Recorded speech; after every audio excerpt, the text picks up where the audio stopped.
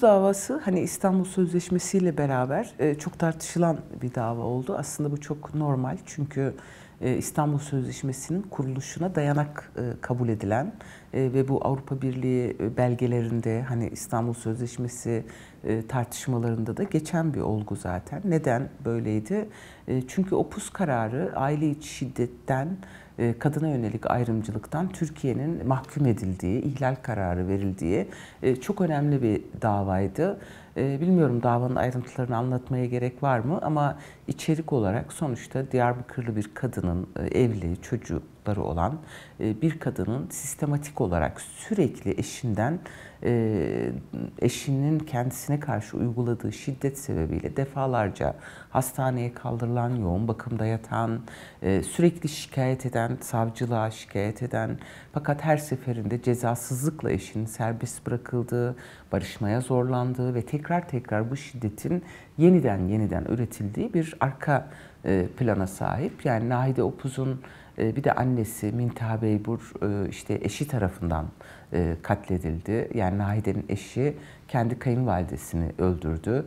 E, bütün bu olayları biz e, o davada çok sistematik bir şekilde anlatmaya çalıştık. Yargının bu meseledeki yaklaşımını, şiddetin meşrulaştırmasını, cezasızlıkla aslında şiddet failinin ödüllendirildiğini, adeta teşvik edildiğini e, anlatmıştık ve bu Avrupa İnsan Hakları Mahkemesi'nde çok ciddi bir e, hem ilgiye sebep oldu hem de hakikaten e, çok iyi bir e, yargılamayla diyeyim hani ayrıntıları e, tetkik edilerek, e, hukuki normlar kullanılarak e, çok önemli bir karar, iştihat haline geldi. Ve Türkiye'de o güne kadar aslında ben o dönem Diyarbakır Barosu Kadın Hakları Merkezi Başkanı olarak görev yapıyordum avukat olduğum için.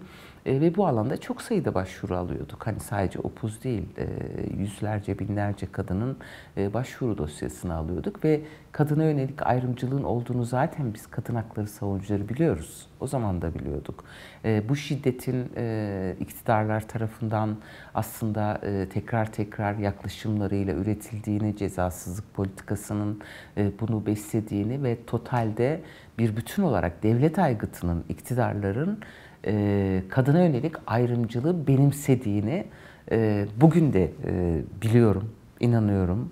E, o gün de biliyorduk. Fakat bunun bir karara dönüşmesi önemliydi. Hani ispatlarıyla, delilleriyle, e, mahkeme kararlarıyla, savcılık kayıtlarıyla e, bu Avrupa Birliği nezdinde de artık ifşa oldu hani bu yönüyle. E, tartışmalar yoğundu o dönem. Hani nasıl karşılandı?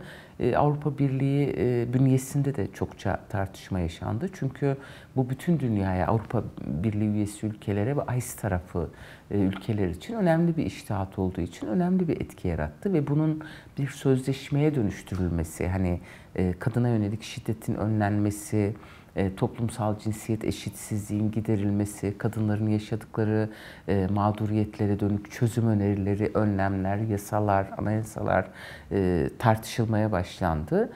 Türkiye'de ne oldu? Türkiye'de ilk önce bir refleks oluştu. Yani o dönem davanın avukatlarından biri olarak ben ve eşim bu davayı üstlenmiştik.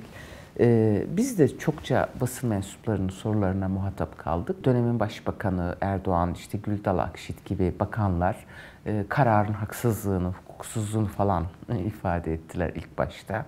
Çok sert reaksiyonlar verdiler bu kararın hukuksuzluğuna dair. E, fakat sonrasında bir şey oldu. Hani Avrupa Birliği'nde karşılanma şekli, desteklenmesi ve bunun önlenmesi noktasında oluşan irade e, Türkiye'yi de kapsadı. Yani Türkiye'de bir dönüştü diyeyim. E, ve İstanbul'da yapıldı bu sözleşme. Türkiye'nin önerisiyle İstanbul'da yapıldı. Çünkü davanın dayanağı olan ülke ve ihlal e, kararı verilen, hakkında verilen ülke Türkiye. Bu yönüyle İstanbul Sözleşmesi adını aldı ve çok önemli bir sözleşme. Yani kadın hakları mücadelesinde e, elde edilen önemli bir kazanım diye hala tabii ki düşünüyorum.